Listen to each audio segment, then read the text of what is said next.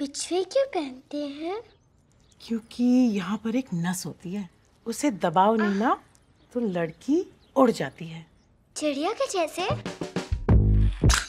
First thing that we see in the story are her feet. They are free. She's on the trees and they are caught by the Pishima. Toe rings are put, the red as blood. Alta is put on her, almost like a foreshadowing of what's going to come. She walks into the house. Our basic symbol, our goddess symbol of a uh, the goddess walking into the house is the imprint of the feet. Her walking in, never leaving. She has to be submerged when she leaves. Everything is to do with containing, stopping your movement towards a future that you will design for yourself. Yes, he could have hit her anywhere. Um, but symbolically, I wanted him. It's the feet that transgressed. Yes.